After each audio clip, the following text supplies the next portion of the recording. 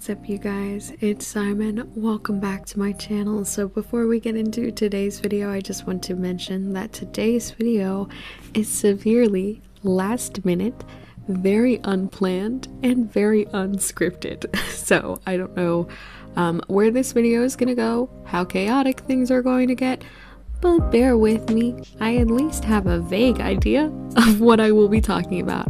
Um, so today's video, the reason that it is so unplanned is because I had initially intended for it to be um, an Animal Crossing? Animal Crossing wow, Animal Crossing fall lookbook um, with like some of my favorite outfits from the game. Um, and then like I wanted it to be accompanied by like some gameplay footage of me trying out some new stuff from the update um, in the outfits, obviously, like the cooking um, and the roost. And I also wanted to do farming, but I didn't end up doing farming because I spent so much time doing other stuff on the island because everything on my island was so ugly. like I I picked up Animal Crossing for maybe the first 2 months and then I just let it sit there.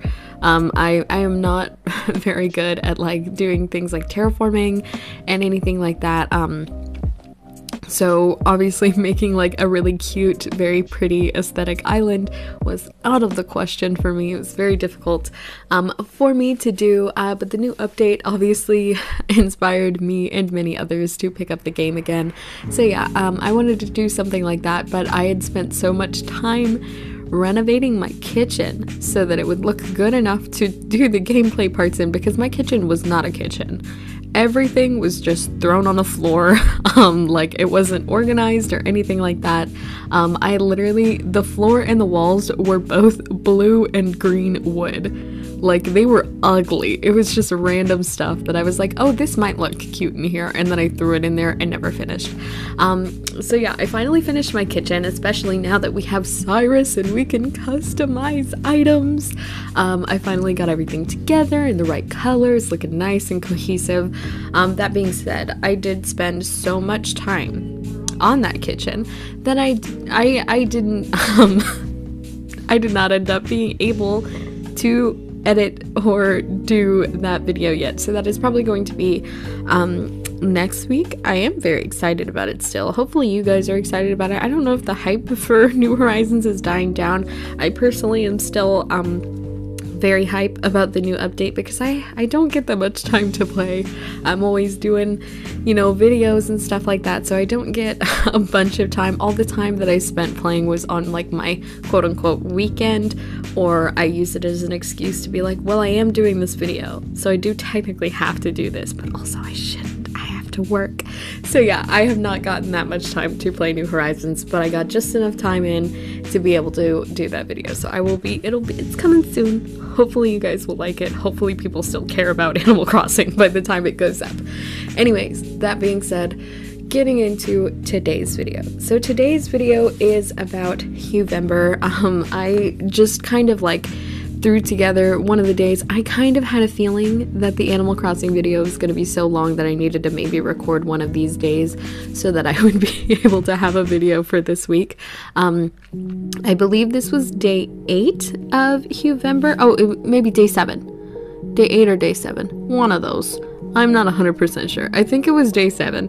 Um, and I it was like this dark orange color. It was very nice. Um, I'm not sure how many of you know about Huevember? Because I've surprisingly gotten surprisingly gotten goodness a lot of comments on my Instagram like oh I, I didn't know Huevember was a thing blah blah blah.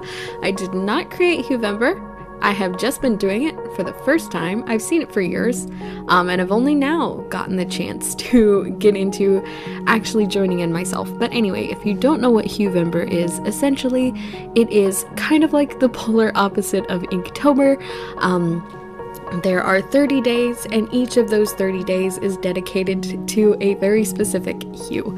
Um, and essentially, you're meant to take that hue and use just that um, and variations of it, obviously black and white, kind of monochrome sort of paintings.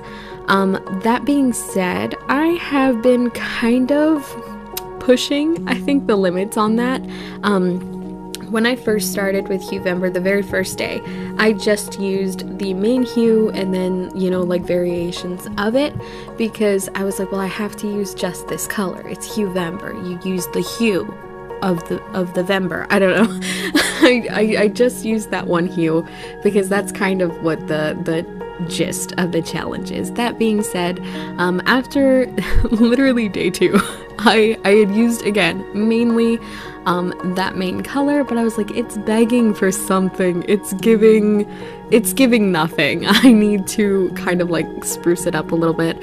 Um, and it was kind of green, so I was like, well, maybe if I do like a color scheme, like it's like we're misanalogous right now. Like let's let's get some color in there. I threw some blue, and I was like, yes, yes, this is so pretty. I like this. Um, so yeah, I, I kind of have strayed away from using um, the main hue since day two. Um, for I think that a couple of days, I was still trying to mostly adhere to that main hue with little pops of color. Um, but now I've completely changed it. Um, I think starting with this day, actually, day seven, where I was like, you know what? I'm just going to use the main hue as kind of like an accent and build the other colors around it rather than building the other, colors from it because I was having to overthink every single aspect of the illustrations. Like with day one, I was like, well, the hue is kind of yellow.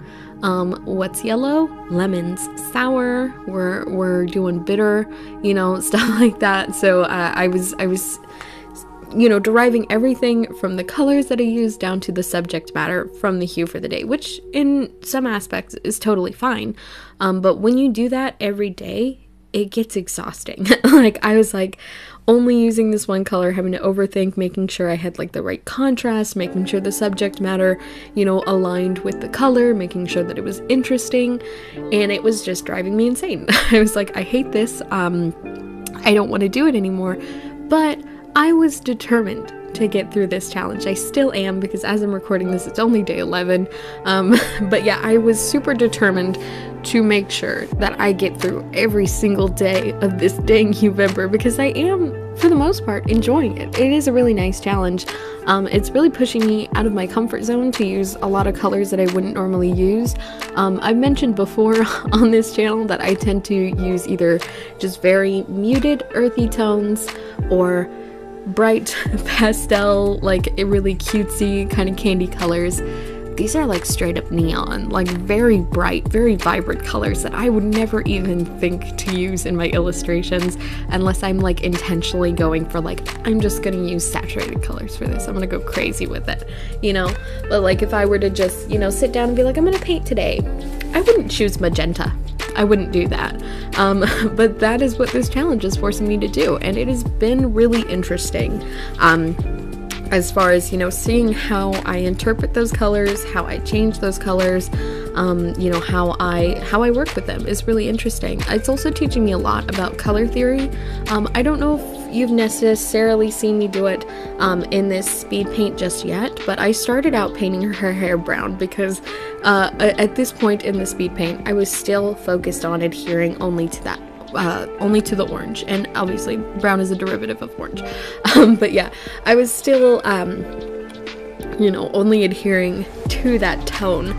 Um, and then I, I like was messing with the background, I think, or no, I wasn't messing with the background yet. I changed her hair because I was painting it brown, and then I was like, no, this needs a little something. I spiced it up and I messed with the hue slider a little bit and I found this like navy blue color and I was like, wow, that is gorgeous. And then I started turning the background on and off. And I was like, whoa, because the background, very bright, vibrant orange, right? Turn the background off and the hair goes from navy blue to like almost black, like dark gray, like no color to it almost at all.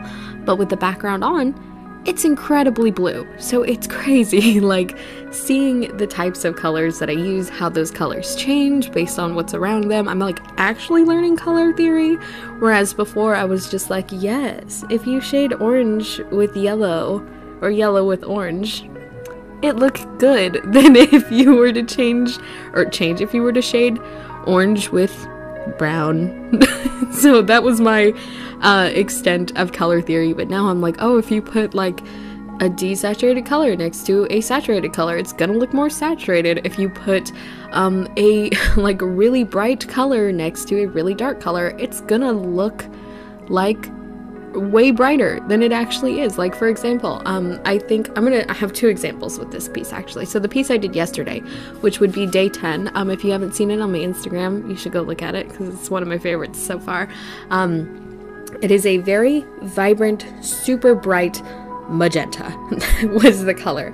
So I had that as the background and then I was like for some reason I just I want to do like this dark skinned girl with like this natural kind of hairstyle um, with butterflies all around her pink blue and purple I was just I was getting that vibe and I was like yes this is what I'm gonna do so when I was doing her highlight on her skin especially next to that super vibrant background I was blown away because I I was using almost like a dark orange. Like it would have normally if I were to just put it against actually the background that you guys are seeing now that's almost the color of the highlight that I was using on her skin.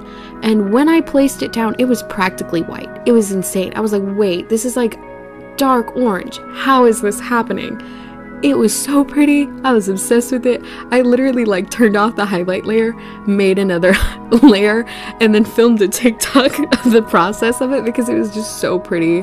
I was obsessed with it. But also I was like confused because I was like, her skin is glowing right now. I'm not using a lighting layer. It was like a normal layer with a dark orange and it was boom color. And I was like, wow, that's magic. I love that. So yeah, it's definitely been teaching me so much about color theory.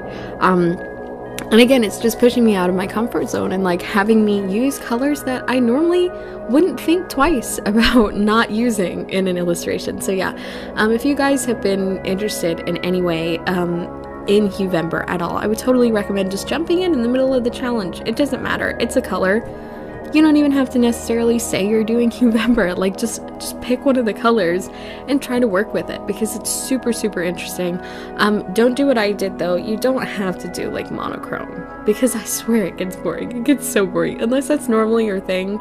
If you love to like just pick a color, do a monochrome color scheme, you do you but it was exhausting for me. I was thinking way too much, um, and now that I'm kind of just experimenting and letting myself use whatever colors I want, so long as you know that main hue is kind of accented, it's it's made the focus. Um, I think it's really nice and it's really fun. Um, this day in particular, though, the one that's I'm currently speed painting, was. it was a nightmare. Everything about this was such a struggle because I her face, the eye. Have you have you guys seen like kind of those drawings where it's like a three-quarter view, but her eye is like hanging off the side of her face. There's like white touching the edge. That's what this was doing. I don't I don't know what my brain was thinking. Um, I think I was just having a bad art day. Like her shoulders are way too small, her eyes not even and also wrong side of her face. I was just really struggling with that. Um, so I ended up painting over her eye at the very end because I was not pleased with it in any sort of way. I really didn't like it. Um, but yeah, overall, I think I managed to pull it together in a way that I like vaguely like. I really like her hair. Um, her earrings, I really like as well. I don't know if you guys can necessarily tell. Um, in the speed paint you can kind of see it more so in the um, what is it like the carousel on Instagram, the second slide where I zoom in on her earrings, the kind of texture that I wanted them to be. Um, I wanted like those frosted, like jelly looking earrings. If you guys have ever seen those big, like geometric um, little, they're not like hoops, they're like, they're like droplets, but there's like holes in them. I don't know very very specific earrings that popped into my brain when I saw this orange. Um, and I think I wanted the texture to come across a little bit more frosted. If you guys have ever seen like those frosted Starbucks cups it's that but an earring um, and orange and jelly This is so specific. I have no idea how to describe what I'm talking about. I'm sure if I typed this into Google, I would get utter nonsense but I hope you guys can kind of understand what I mean when I'm talking about it.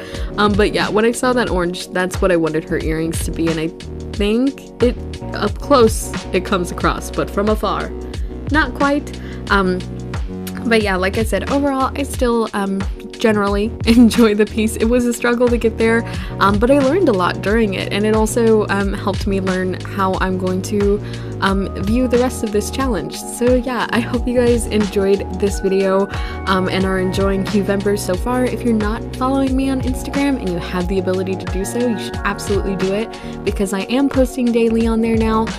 Um, I know I just went on a rant in I think my Q&A where I was like posting daily on Instagram sucks and it does but also I'm kind of having fun with it again because I have a challenge. We'll see if I can keep this momentum up afterwards.